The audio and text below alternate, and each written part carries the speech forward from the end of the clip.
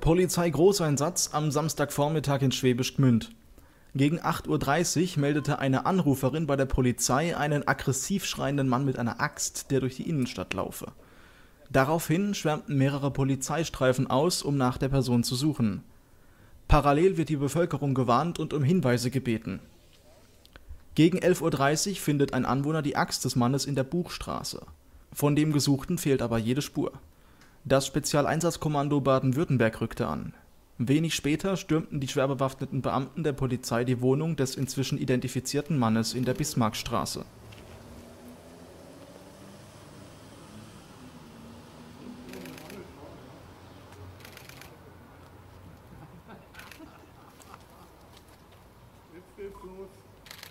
Was ist da schon für Blende drin?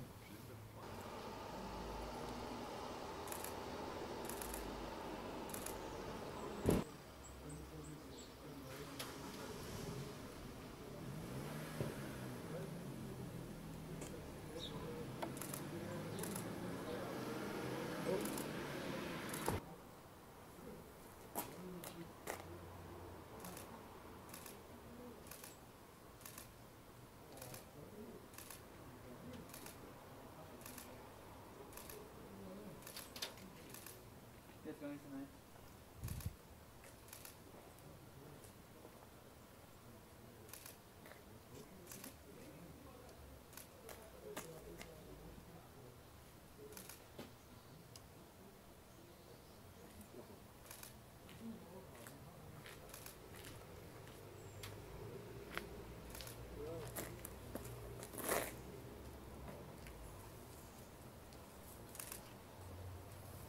Hallo, Entschuldigung. Okay, ja, müssen Sie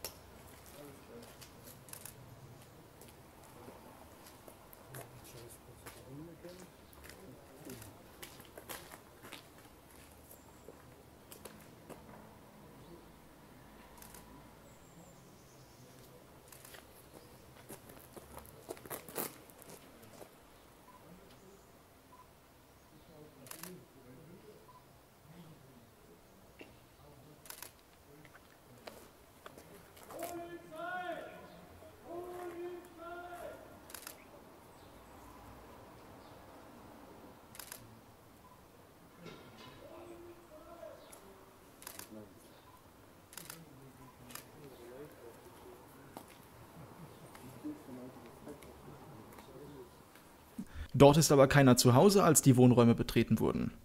Nun weitet die Polizei die Fahndung auf das gesamte Stadtgebiet aus. Auch ein Polizeihubschrauber kam hierbei zum Einsatz. Mit Erfolg. Gegen 11.45 Uhr nehmen Polizisten den etwa 40-jährigen Mann in der Kaspar-Vogt-Straße fest. Zu seinen Motiven ist derzeit noch nichts bekannt. Die Polizei hat nun die weiteren Ermittlungen übernommen